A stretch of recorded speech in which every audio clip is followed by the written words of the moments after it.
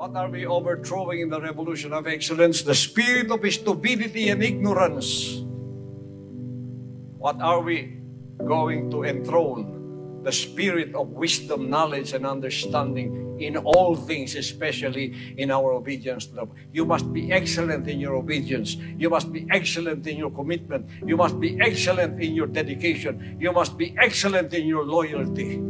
You must be excellent in everything that you do. First of all, in your spirit. You must be excellent in joy, in peace, in love, in kindness, in goodness, in meekness, in faith, in long suffering.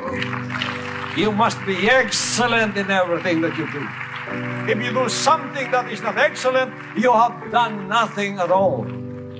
That's why he said, Let your light so shine upon men, so that they may see your excellent work and glorify the Father which is in heaven.